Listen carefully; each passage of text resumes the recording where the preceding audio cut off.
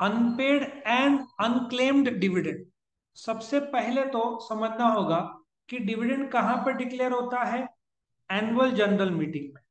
Let us assume annual general meeting हुआ thirtieth of सितंबर ठीक है ना? Annual general meeting thirtieth of सितंबर 2022 को हुआ। ओके नाउ कायदा क्या बोलता है? इसके पाँच दिन के अंदर दैट इज़ फ़र्स्ट अक्टूबर से फिफ्थ अक्टूबर तक कंपनी को सपोजली डिक्लेयर किया है एक लाख रुपया डिविडेंड, ठीक है, पूरा मिलाकर। सो ये एक लाख रुपया कंपनी पाँच, मीटिंग थर्टी सितंबर को डिक्लेयर हुआ, उसके बाद पाँच दिन के अंदर ये एक लाख रुपया एक सेपरेट बैंक अकाउंट में ट्रांसफ़र करेगा।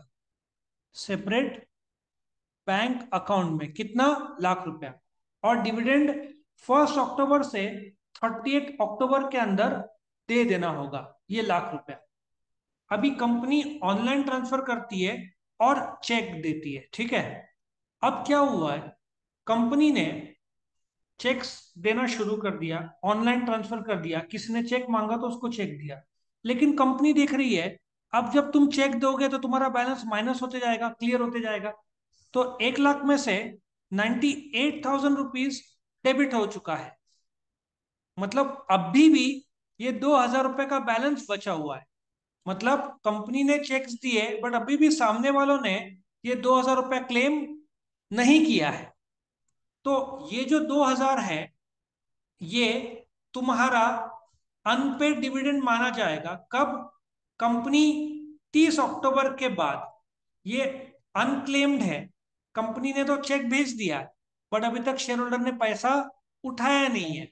तो ये 2030 सितंबर 30 अक्टूबर को क्या माना जाएगा? 30 अक्टूबर के बाद अनक्लेम्ड डिविडेंड तो अभी कायदा क्या बोलता है? ये 2000 का कंपनी क्या करेगा?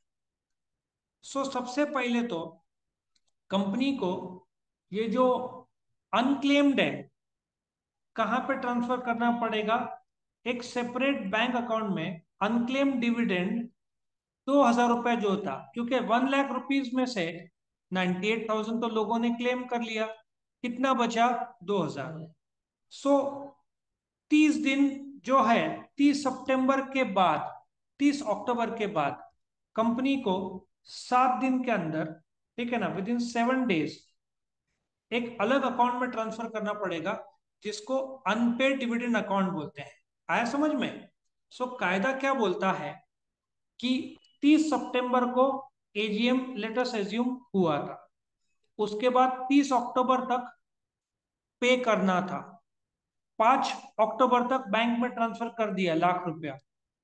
98,000 क्लेम हुआ 30 अक्टूबर तक। 2000 थर्टी फ़र्स्ट अक्टूबर को अभी तक बैलेंस में है। तो सात दिन के अंदर थर्टी फ़र्स्ट अक्टूबर ठीक है?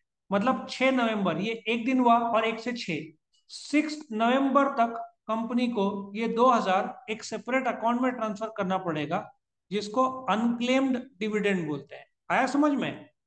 और ये जिस तारीख को ट्रांसफ़र किया within ninety days from the amount unpaid dividend account for example 6 नवंबर को ट्रांसफ़र किया, इसके 90 दिन के अंदर मतलब नवंबर, दिसंबर, जनवरी, फरवरी सो सिक्स ऑफ़ फेब्रवरी के अंदर, कंपनी को वेबसाइट में, ठीक है, और कोई भी जगह जो कि अप्रूव किया है सेंट्रल गवर्नमेंट ने, वहाँ पे जो शेयर होल्डर जिसने क्लेम नहीं किया है, उसका आखिरी एड्रेस और जो रकम पेएबल है, वो सब डिटेल बताना पड़ेगा। ठीक है? मतलब कंपनी पैसा देना चाहती है बट सामने वाले ने अभी तक क्लेम नहीं किया। और ये जो ट्रांसफ़र किया है कंपनी ने, कितना? 6 नवंबर को सिक्स नवंबर को 2022 को, अब सामने वाले को मौका दिया, वेबसाइट में डाला इन्फॉर्म किया होगा ईमेल के थ्रू लेकिन अभी तक उसने क्लेम नहीं किया। तो डू यू एग्री ये जो अनक्लेम डिविडेंड है, अभी तक कंपनी के पास है, कितना? दो हज़ार रुपया। ये सात साल तक सिक्स ऑफ़ नवंबर 2029 तक उस अकाउंट में रहेगा। कोई शेयर होल्डर जो नाम था मिस्टर ए या तो उससे चेक गुम गया, या पता नहीं चला, या एड्रेस चेंज कर दिया, ये सात साल में क्लेम कर सकता है। ठीक है? और सात में से साढ़े छह साल सिक्स एंड हाफ़ ईयर्स बीत जाने के बाद कंपनी एक आखिरी लेटर लिखती है और बोलती है क्लेम कर लो। नहीं क्लेम किया तो सात साल सिक्स नवंबर 2029 के बाद ना ये पैसा कंपनी का रहेगा, ना ये पैसा शेयर होल्डर का रहेगा, मिस्टर ए। ना कंपनी का रहेगा, ना शेयर होल्डर का रहेगा। कंपनी एक investor education and protection fund में ये ट्रांसफ़र कर देगी। फिर ना शेयर होल्डर क्लेम कर पाएगा, ना कंपनी क्लेम कर पाएगी। कंपनी तो वैसे भी क्लेम नहीं कर सकती थी। हाँ अब सवाल ये है, हर साल ये दो हज़ार रुपए किसके पास है? कंपनी का अनक्लेम्ड है। सो कंपनी ये दिखाएगी करंट लाइबिलिटीज में कि भाई देना बाकी है अभी तक शेयर होल्डर ने क्लेम नहीं किया। सो so, ये अनक्लेम डिविडेंड जो है कंपनी भी रख नहीं पाएगी। उसको हर साल लाइबिलिटी के रूप में अंडर करंट लाइबिलिटीज ये दिखाना पड़ेगा। और एनुअल रिपोर्ट में भी बताना पड़ेगा कि ये कितना रकम है। साढ़े छह साल बाद वो कंपनी आखिर का एक लेटर लिखेगी फिर भी नहीं क्लेम हुआ तो सात साल बीत गए। तो company investor education and protection fund government का बनाया हुआ फंड है।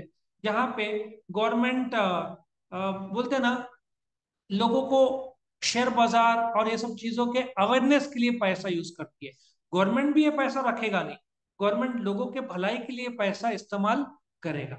आया समझ में? तो ये था तुम्हारा अनपेड एंड अनक्लेम्ड डिविडेंड का video thank you for watching